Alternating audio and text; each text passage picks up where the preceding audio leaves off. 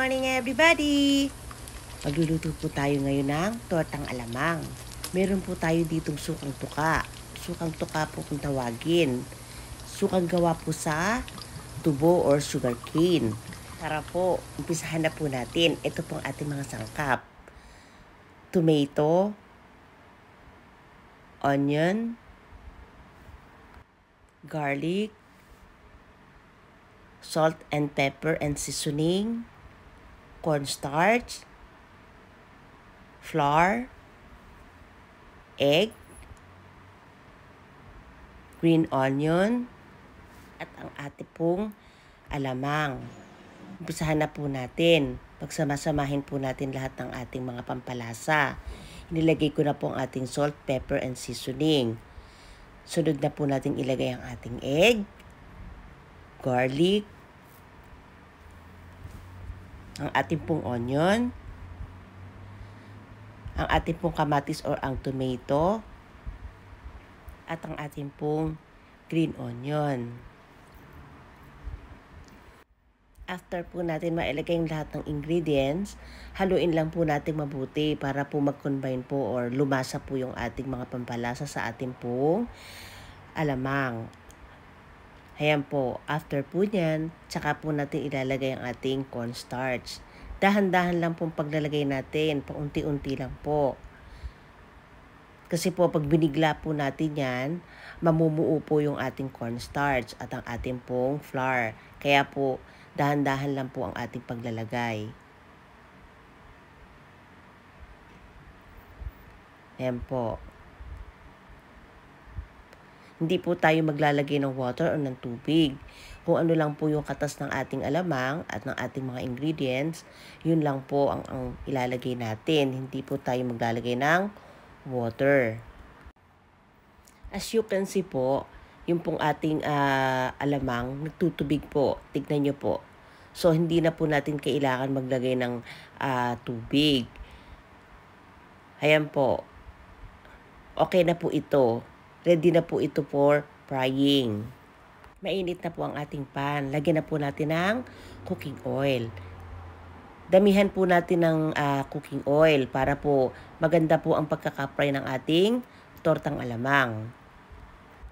Sa paglalagay po ng ating tortang alamang, gumamit po tayo ng kahit na anong uh, platito or uh, maliit na plato. Depende po sa size na gusto ninyo.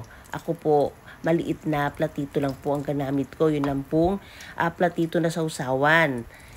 Kaya po maliit lang po. Kung gusto niyo po ng mas malaki, gamitan niyo po ng mas malaking platito. Ayan po. Ang ganda po ng uh, color ng ating uh, tortang alamang. Gawa po ng ating tomato at saka po ng ating green onion. So, i-fry lang po natin yan hanggang maging uh, golden brown po. After po yan, ipi-flip po natin para po yung another side naman po ang ating golden brown.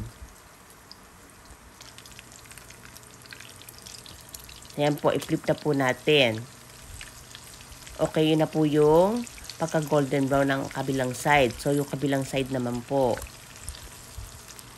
Masarap po itong tortang alamang naisipan ko pong uh, magluto. Gawa po ng meron po tayo rito sa bahay na sukang tuka. Nakabili po ako. Sukang tuka po ang tawag kasi po suka po na gawa po sa tubo or sa sugar cane.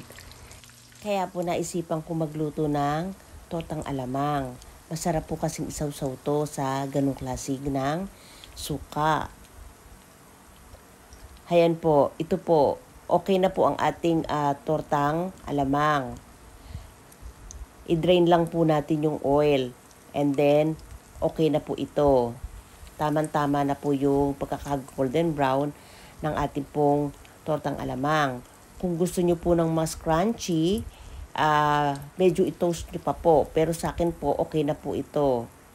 After po niyan, ihanda na po natin ang ating uh, sausawan. Ito po yung ating sukang tuka. Ito po yung nabili ko sa Filipino store. Masarap po ito. May kasama na po mga spices. May chili, may garlic, may sugar, At uh, marami pa pong uh, spices na kasama ang suka pong ito. Tignan nyo po. Masarap po itong pagsawsawan ng mga paritong pagkain. Hayan po, luto na po ang ating tortang alamang. Ready to serve na po. Magpi-pre-taste po tayo.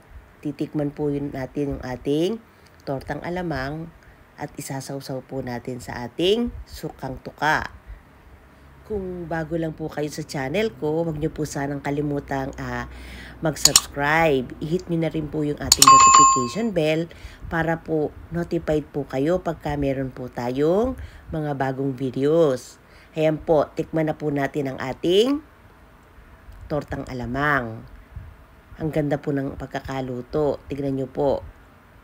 Ang sarap po nito. Sausaw po natin sa ating sausawan na sukang tuka.